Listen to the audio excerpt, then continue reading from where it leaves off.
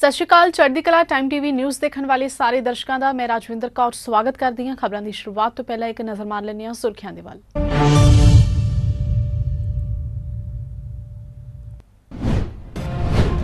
ਮੁੱਖ ਮੰਤਰੀ ਭਗਵੰਤ ਮਾਨ ਵੱਲੋਂ ਪੰਜਾਬ ਖੇਡ ਮੇਲੇ ਦਾ ਪੋਰਟਲ ਲਾਂਚ ਕਿਹਾ 25 ਅਗਸਤ ਦਰਮਿਆਨ ਰਜਿਸਟ੍ਰੇਸ਼ਨ ਕਰਵਾ ਸਕਣਗੇ ਚਾਹਵਾਨ ਖਿਡਾਰੀ।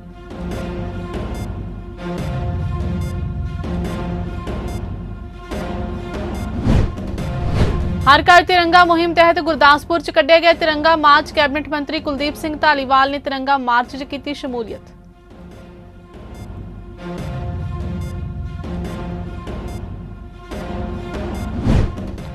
ਲੰਪੀ ਸਕਿਨ ਬਿਮਾਰੀ ਤੋਂ ਬਚਾਅ ਲਈ ਪੰਜਾਬ 'ਚ ਟੀਕਾਕਰਨ ਮੁਹਿੰਮ 'ਚ ਤੇਜ਼ੀ ਪਸ਼ੂ ਪਾਲਣ ਵਿਭਾਗ ਦੇ ਪ੍ਰਮੁੱਖ ਸਕੱਤਰ ਵਿਕਾਸ ਪ੍ਰਤਾਪ ਨੇ ਸਾਂਝੇ ਕੀਤੇ ਅੰਕੜੇ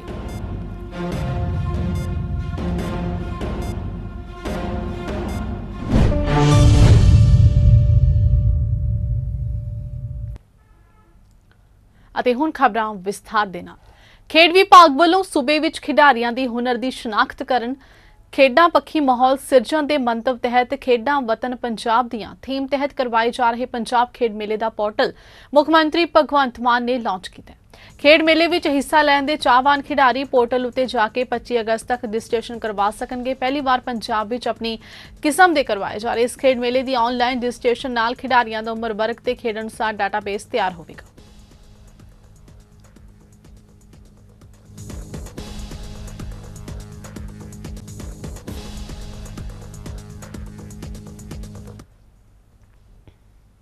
ਹਰ ਘਰ ਤਿਰੰਗਾ ਮੁਹਿੰਮ ਤਹਿਤ ਗੁਰਦਾਸਪੁਰ ਵਿਖੇ ਤਿਰੰਗਾ ਮਾਰਚ ਕੱਢਿਆ ਗਿਆ ਤੇ ਰੈਲੀ ਕੀਤੀ ਗਈ, ਜਿਸ ਵਿੱਚ ਕੈਬਨਿਟ ਮੰਤਰੀ ਕੁਲਦੀਪ ਸਿੰਘ ਧਾਲੀਵਾਲ ਤੇ ਸ਼ਹਿਰ ਵਾਸੀਆਂ ਨੇ ਵੱਡੀ ਗਿਣਤੀ ਵਿੱਚ ਹਿੱਸਾ ਲਿਆ।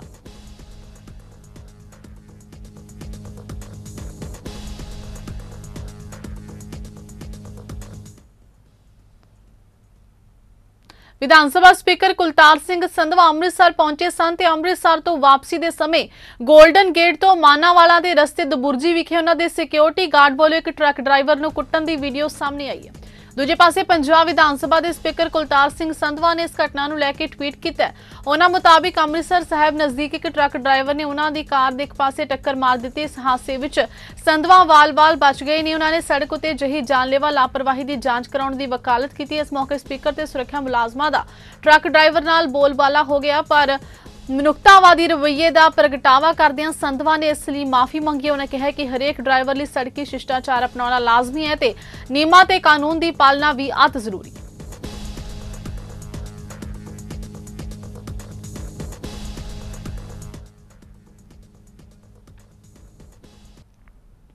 ਪੰਜਾਬ ਦੇ ਮੁੱਖ ਮੰਤਰੀ ਭਗਵੰਤ ਮਾਨ ਦੀਆਂ ਹਦਾਇਤਾਂ ਤੋਂ ਬਾਅਦ ਸੂਬੇ ਵਿੱਚ ਪਸ਼ੂਆਂ ਵਿੱਚ ਫੈਲੀ ਲੰਪੀ ਸਕਿਨ ਦੀ ਬਿਮਾਰੀ ਦੀ ਰੋਕਥਾਮ ਲਈ ਪਸ਼ੂ ਪਾਲਣ ਵਿਭਾਗ ਵੱਲੋਂ ਟੀਕਾਕਰਨ ਮੁਹਿੰਮ ਤੇਜ਼ ਕੀਤੀ ਗਈ ਹੈ ਤੇ ਹੁਣ ਤੱਕ ਕਰੀਬ 1.16 ਲੱਖ ਪਸ਼ੂਆਂ ਨੂੰ ਗੌਟ ਪੌਕਸ ਵੈਕਸੀਨ ਲਗਾਈ ਜਾ ਚੁੱਕੀ ਹੈ। ਸੂਬੇ ਵਿੱਚ ਚਲਾਈ ਜਾ ਰਹੀ ਟੀਕਾਕਰਨ ਮੁਹਿੰਮ ਬਾਰੇ ਵਿਸਥਾਰ ਨਾਲ ਜਾਣਕਾਰੀ ਦਿੰਦਿਆਂ ਪਸ਼ੂ ਪਾਲਣ ਵਿਭਾਗ ਦੇ ਪ੍ਰਮੁੱਖ ਸਕੱਤਰ ਵਿਕਾਸ ਪ੍ਰਤਾਪ ਨੇ ਦੱਸਿਆ ਕਿ ਵਿਭਾਗ ਨੂੰ ਪਸ਼ੂਆਂ ਵਿੱਚ ਲੰਪੀ ਸਕਿਨ ਬਿਮਾਰੀ ਲਈ ਸਰਕਾਰ ਵੱਲੋਂ ਪ੍ਰਵਾਨਿਤ ਵੈਕਸੀਨ ਦੀਆਂ ਲਗਭਗ 234000 ਖੁਰਾਕਾਂ ਪ੍ਰਾਪਤ ਹੋਈਆਂ ਨੇ ਜੋ ਪਹਿਲਾਂ ਹੀ ਪੰਜਾਬ ਭਰ ਦੇ ਸਾਰੇ ਜ਼ਿਲ੍ਹਿਆਂ ਨੂੰ ਭੇਜੀਆਂ ਜਾ ਚੁੱਕੀਆਂ ਨੇ। ਇਸ ਤੋਂ ਇਲਾਵਾ ਵਿਭਾਗ ਨੇ ਟੀਕਾਕਰਨ ਮੁਹਿੰਮ ਲਈ ਇਲਾਜ ਤੇ ਹੋਰ ਸਮਾਨ ਦੀ ਖਰੀਦ ਲਈ ਵੱਖ-ਵੱਖ ਜ਼ਿਲ੍ਹਿਆਂ ਨੂੰ 76 ਲੱਖ ਰੁਪਏ ਜਾਰੀ ਕੀਤੇ ਨੇ। ਉਹਨਾਂ ਦੱਸਿਆ ਕਿ veterinary biological and research institute Hyderabad ਤੋਂ ਖਰੀਦੀ ਗਈ ਵੈਕਸੀਨ ਦੇ ਨਾਲ ਵਿਭਾਗ ਵੱਲੋਂ ਹੁਣ ਤੱਕ 115985 ਤੋਂ ਵੱਧ ਪਸ਼ੂਆਂ ਦਾ ਟੀਕਾਕਰਨ ਕੀਤਾ ਜਾ ਚੁੱਕਿਆ।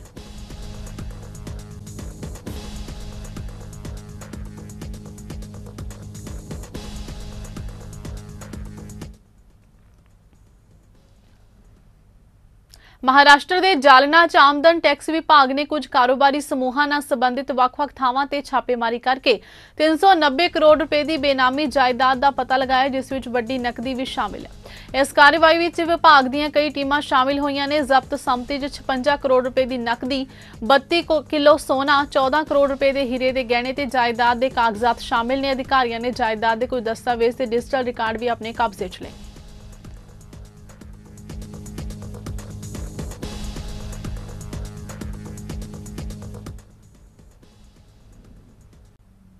ਪੰਜਾਬ ਸਰਕਾਰ ਵੱਲੋਂ ਤਿਹਾਰਾਂ ਤੇ 15 ਅਗਸਤ ਨੂੰ ਦੇਖਦੇ ਹੋਏ ਹਰੇਕ ਜ਼ਿਲ੍ਹੇ ਦੀ ਪੁਲਿਸ ਨੂੰ ਹਾਈ ਅਲਰਟ ਤੇ ਰੱਖਿਆ ਗਿਆ। ਇਸ ਸੰਬੰਧ ਵਿੱਚ ਨੰਗਲ ਪੁਲਿਸ ਵੱਲੋਂ ਨੰਗਲ ਦੇ ਹਰ ਐਂਟਰੀ ਪੁਆਇੰਟ ਤੇ ਨਾਕਾਬੰਦੀ ਕਰਕੇ ਬਾਹਰੋਂ ਆਉਣ ਵਾਲੀਆਂ ਗੱਡੀਆਂ ਨੂੰ ਬਰੀਕੀ ਨਾਲ ਚੈੱਕ ਕੀਤਾ ਜਾ ਰਿਹਾ ਹੈ। ਪੁਲਿਸ ਅਧਿਕਾਰੀ ਨੇ ਕਿਹਾ ਕਿ 15 ਅਗਸਤ ਨੂੰ ਮੁੱਖ ਰੱਖਦਿਆਂ ਸ਼ਹਿਰ ਦੇ ਵਿੱਚ ਨਾਕਾਬੰਦੀ ਤੇ ਸਰਚ ਅਭਿਆਨ ਤਹਿਤ ਚੈਕਿੰਗ ਕੀਤੀ ਜਾ ਰਹੀ ਹੈ ਤਾਂ ਜੋ ਸ਼ਰਾਰਤੀ ਅਨਸਰਾਂ ਦੇ ਉੱਪਰ ਪੰਜਾਬ ਪੁਲਿਸ ਆਪਣਾ ਦਬਦਬਾ ਬਣਾ ਕੇ ਰੱਖ ਸਕੇ।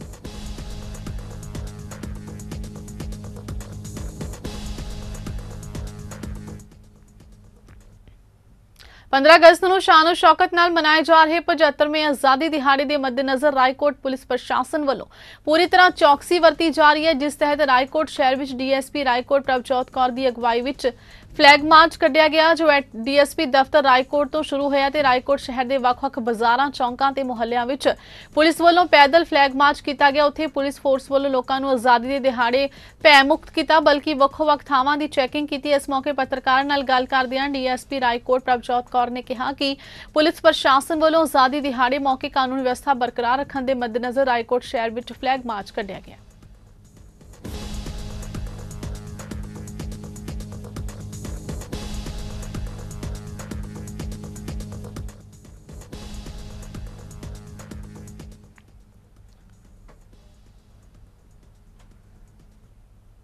ਰਖੜੀ ਦੇ ਤਿਉਹਾਰ ਮੌਕੇ ਪਿੰਡ ਮੂਸਾ ਵਿੱਚ ਸਿੱਧੂ ਮੂਸੇਵਾਲਾ ਦੇ ਸਮਾਰਕ ਤੇ ਪਹੁੰਚ ਕੇ ਲੜਕੀਆਂ ਨੇ ਸਿੱਧੂ ਮੂਸੇਵਾਲਾ ਦੇ ਬੁੱਤ ਤੇ ਗੁੱਟ ਤੇ ਰਖੜੀ ਸਜਾਈ ਤੇ ਕਿਹਾ ਕਿ ਬੇਸ਼ੱਕ ਸਿੱਧੂ ਮੂਸੇਵਾਲਾ ਸਾਡੇ ਵਿਚਕਾਰ ਨਹੀਂ ਰਿਹਾ, ਪਰ ਸਿੱਧੂ ਮੂਸੇਵਾਲਾ ਸਦਾ ਲਈ ਦੁਨੀਆ ਦੇ ਵਿੱਚ ਅਮਰ ਹੋ ਗਿਆ। ਉਹਨਾਂ ਕਿਹਾ ਕਿ ਸਿੱਧੂ ਮੂਸੇਵਾਲਾ ਦੇ ਜਨਮ ਦਿਨ ਤੇ ਬਰਸੀ ਮੌਕੇ ਸਿੱਧੂ ਮੂਸੇਵਾਲਾ ਦੇ ਸਮਾਰਕ ਤੇ ਮੇਲੇ ਲੱਗਦੇ ਰਹਿਣਗੇ।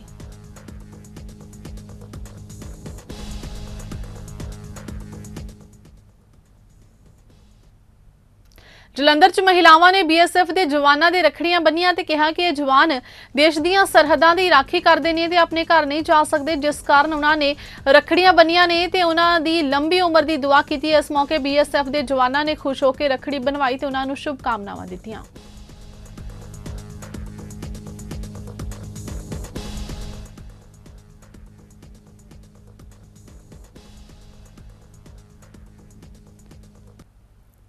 ਸਿੱਖ ਪੰਥ ਦੀ ਮਹਾਨ ਜਥੇਬੰਦੀ ਦਮਦਮੀ ਟਕਸਾਲ ਦੇ ਮੌਜੂਦਾ ਮੁਖੀ ਸੰਤ ਬਾਬਾ ਹਰਨਾਮ ਸਿੰਘ ਖਾਲਸਾ ਪਿੰਡਰਾਵਾਲੇ ਵੱਲੋਂ ਬਾਬਾ ਸੁਖਦੇਵ ਸਿੰਘ ਨੂੰ ਜਥੇਬੰਦੀ ਦੇ ਮੁੱਖ ਬੁਲਾਰੇ ਵਜੋਂ ਨਿਯੁਕਤ ਕੀਤੇ ਜਾਣ ਤੋਂ ਬਾਅਦ ਤਖਤ ਸ੍ਰੀ ਕੇਸਗੜ੍ਹ ਸਾਹਿਬ ਦੇ ਮੀਟਿੰਗ ਹਾਲ ਦੇ ਵਿੱਚ ਸ਼੍ਰੋਮਣੀ ਗੁਰਦੁਆਰਾ ਪ੍ਰਬੰਧਕ ਕਮੇਟੀ ਦੇ ਮੈਂਬਰ ਭਾਈ ਅਮਰਜੀਤ ਸਿੰਘ ਚਾਵਲਾ ਤੇ ਉਹਨਾਂ ਦੀ ਸਮੁੱਚੀ ਟੀਮ ਵੱਲੋਂ ਭਾਈ ਸੁਖਦੇਵ ਸਿੰਘ ਨੂੰ ਸਨਮਾਨਿਤ ਕੀਤਾ ਗਿਆ।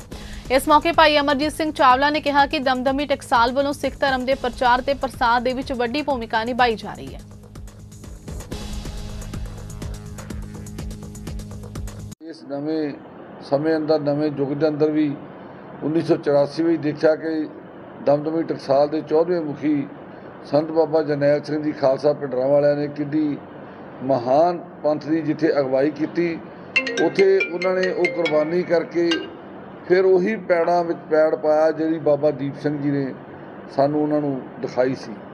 ਸੋ ਅੱਜ ਵੀ ਇਹ ਮਹਾਨ ਸੰਸਥਾ ਉਹਨਾਂ ਨੂੰ ਟਕਸਾਲ ਦਾ ਮੁੱਖ ਬੁਲਾਰਾ ਜਿਹੜਾ ਉਹ ਨਿਯੁਕਤ ਕੀਤਾ, ਜੋ ਸੰਗਤਾਂ ਦੇ ਅੰਦਰ ਇਸ ਗੱਲ ਦੀ ਬਹੁਤ ਹੀ ਮੈਂ, ਜਿਸ ਨਾਲ ਵੀ ਗੱਲ ਕੀਤੀ, ਬੜੀ ਉਹਨਾਂ ਨੇ ਇਸ ਗੱਲ ਦੀ ਖੁਸ਼ੀ ਵੀ ਮਨਾਈ, ਪ੍ਰਸੰਨਤਾ ਵੀ ਹੋਈ ਕਿ ਭਾਈ ਸੁਖਦੇਵ ਸਿੰਘ ਜੀ ਸਾਡੇ ਬਹੁਤ ਹੀ ਸਨਮਾਨਯੋਗ, ਪਿਛਲੇ ਬੜੇ ਲੰਬੇ ਸਮੇਂ ਤੋਂ ਬੜੇ ਸਮਰਪਣ ਭਾਵਨਾ ਦੇ ਨਾਲ ਦਮਦਮੀ ਟਕਸਾਲ ਦੀ ਸੇਵਾ ਨਿਭਾ ਰਹੇ ਆ ਤੇ ਬਾਬਾ ਹਰਨਾਮ ਸਿੰਘ ਜੀ ਖਾਲਸਾ ਮੁਖੀ ਦਮਦਮੀ ਟਕਸਾਲ ਦਾ ਮੈਂ ਤਹਿ ਦਿਲੋਂ ਧੰਨਵਾਦ ਕਰਨਾ ਚਾਹੁੰਦਾ, ਜਿਨ੍ਹਾਂ ਨੇ ਭਾਈ ਸੁਖਦੇਵ ਸਿੰਘ ਜੀ ਜਿਨ੍ਹਾਂ ਨੇ ਅੰਥਕ ਜਿਹੜੇ ਮਿਹਨਤੀ ਆ ਤੇ ਲੰਬੇ ਸਮੇਂ ਤੋਂ ਰਾਤ ਦਿਨ ਟਕਸਾਲ ਦੀ ਸੇਵਾ ਵਿੱਚ ਜੁਟੇ ਹੋਏ ਆ, ਉਹਨਾਂ ਨੂੰ ਟਕਸਾਲ ਦਾ ਮੁੱਖ ਬੁਲਾਰਾ ਬਣਾਇਆ। ਰਾਏਕੋਟ ਇਲਾਕੇ ਵਿੱਚ ਫੈਲੀ ਲੰਪੀ ਸਕਿਨ ਬਿਮਾਰੀ ਕਾਰਨ ਮਰੇ ਪਸ਼ੂਆਂ ਨੂੰ ਲੋਕਾਂ ਵੱਲੋਂ ਰਾਏਕੋਟ ਅਹਿਮਦਗੜ੍ਹ ਰੋਡ ਤੇ ਤਾਜਪੁਰ ਭੈਣੀ ਬੜਿੰਗਾ ਚੌਂਕ 'ਚ ਸਥਿਤ ਹੱਡਾ ਰੋੜੀ ਵਿੱਚ ਸੁੱਟਿਆ ਜਾ ਰਿਹਾ। ਰਾਏਕੋਟ ਅਹਿਮਦਗੜ੍ਹ ਰੋਡ ਤੇ ਸਥਿਤ ਹੱਡਾ ਰੋੜੀ ਵਿੱਚ ਸੁੱਟੇ ਮ੍ਰਿਤਕ ਪਸ਼ੂ ਦਿਖਾਉਂਦਿਆਂ ਕਿਸਾਨ ਆਗੂ ਹਰਪਾਲ ਸਿੰਘ ਨੇ ਕਿਹਾ ਕਿ ਸੜਕ ਕਿਨਾਰੇ ਬਣੀ ਇਸ ਹੱਡਾ ਰੋੜੀ ਦੀ ਚਾਰ ਦੀਵਾਰੀ ਨਾ ਹੋਣ ਕਾਰਨ ਲੋਕਾਂ ਵੱਲੋਂ ਖੁੱਲੇ ਵਿੱਚ ਸੁੱਟੇ ਮ੍ਰਿਤਕ ਪਸ਼ੂਆਂ ਕਾਰਨ ਜਿੱਥੇ ਭਿਆਨਕ ਬਿਮਾਰੀ ਫੈਲਣ ਦਾ ਖਦਸ਼ਾ ਬਣਿਆ ਹੋਇਆ, ਉੱਥੇ ਸੜਕ ਹਾਦਸੇ ਵਾਪਰਨ ਦਾ ਵੀ ਡਰ ਬਣਿਆ ਰਹਿੰਦਾ ਕਿਉਂਕਿ ਸੜਕ ਕਿਨਾਰੇ ਹੱਡਾ ਰੋੜੀ 'ਚ ਖੁੱਲ੍ਹੇਆਮ ਪਏ ਮਰੇ ਪਸ਼ੂਆਂ ਨੂੰ ਅਵਾਰਾ ਕੁੱਤੇ ਖਾ ਰਹੇ ਨੇ ਤੇ ਸਾਡੇ ਕੁੱਤਿਆਂ ਵੱਲੋਂ ਅਧ ਹੱਡ ਸੜਕ ਤੇ ਖਿਲਰੇ ਪਏ ਰਹਿੰਦੇ ਨੇ। ਉਹਨਾਂ ਮੰਗ ਕੀਤੀ ਹੈ ਕਿ ਪੰਜਾਬ ਸਰਕਾਰ ਨੂੰ ਇਸ ਸੰਬੰਧੀ ਜਲਦ ਢੁਕਵੇਂ ਕਦਮ ਚੁੱਕਣੇ ਚਾਹੀਦੇ ਨੇ ਅਤੇ ਪੀੜਤ ਪਸ਼ੂ ਮਾਲਕਾਂ ਨੂੰ 50000 ਰੁਪਏ ਦੇ ਕਰੀਬ ਮੁਆਵਜ਼ਾ ਦਿੱਤਾ ਜਾਣਾ ਚਾਹੀਦਾ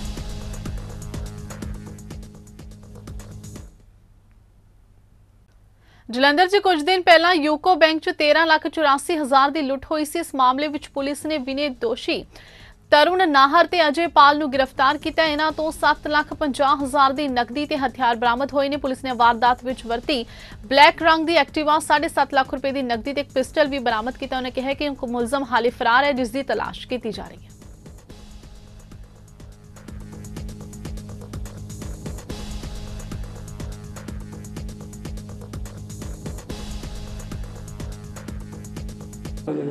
ਕੀ ਹੋਇਆ?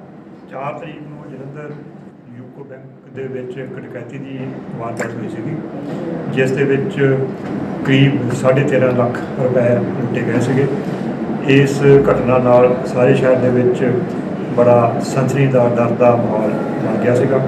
ਉਸ ਦੇ ਸਿੱਟੇ ਵਜੋਂ ਅਸੀਂ ਜਿਹੜੇ ਦੋਸ਼ੀ ਜਿਨ੍ਹਾਂ ਨੇ ਇਹ ਵਾਰਦਾਤ ਕੀਤੀ ਆ, ਉਹਨਾਂ ਨੂੰ ਗ੍ਰਿਫਤਾਰ ਕਰਨ ਦੇ ਵਿੱਚ ਪਟਿਆਲਾ ਪੁਲਿਸ ਨੇ ਲੁੱਟ ਖੋਹ ਤੇ ਚੋਰੀ ਦੀਆਂ ਵਾਰਦਾਤਾਂ ਨੂੰ ਅੰਜਾਮ ਦੇਣ ਵਾਲੇ ਪੰਜ ਮੁਲਜ਼ਮਾਂ ਨੂੰ ਗ੍ਰਿਫਤਾਰ ਕਰਨ ਦਾ ਦਾਅਵਾ ਕੀਤਾ ਹੈ। ਇਸ ਮਾਮਲੇ ਦੀ ਜਾਣਕਾਰੀ ਦਿੰਦਿਆਂ ਸੀਨੀਅਰ ਪੁਲਿਸ ਅਧਿਕਾਰੀਆਂ ਨੇ ਦੱਸਿਆ ਕਿ ਈਟੀਓ ਵੱਲੋਂ ਜ਼ਬਤ ਕੀਤੇ ਗਏ ਲੋਹੇ ਦੀ ਸਕ੍ਰੈਪ ਨਾਲ ਭਰਿਆ ਇੱਕ ਟਰੱਕ ਚੋਰੀ ਹੋ ਗਿਆ ਸੀ ਜੋ ਬਾਅਦ ਵਿੱਚ ਬਿਨਾਂ ਟਾਇਰਾਂ ਤੇ ਸਕ੍ਰੈਪ ਤੋਂ ਮਿਲਿਆ। ਉਹਨਾਂ ਕਿਹਾ ਕਿ ਇਸ ਮਾਮਲੇ ਵਿੱਚ ਪੁਲਿਸ ਨੇ ਪੰਜ ਮੁਲਜ਼ਮਾਂ ਨੂੰ ਕਾਬੂ ਕੀਤਾ। ਉਹਨਾਂ ਕਿਹਾ ਕਿ ਮੁਲਜ਼ਮਾਂ ਨੇ ਸਾਰੀ ਸਕ੍ਰੈਪ ਹਰਿਆਣਾ ਦੇ ਕਬਾੜੀ ਨੂੰ 2,80,000 ਰੁਪਏ ਵਿੱਚ ਵੇਚੀ ਸੀ। ਉਹਨਾਂ ਕਿਹਾ ਕਿ ਇਹਨਾਂ ਮੁਲਜ਼ਮਾਂ ਤੇ ਪਹਿਲਾਂ ਵੀ ਕੇਸ ਦਰਜ ਨੇ।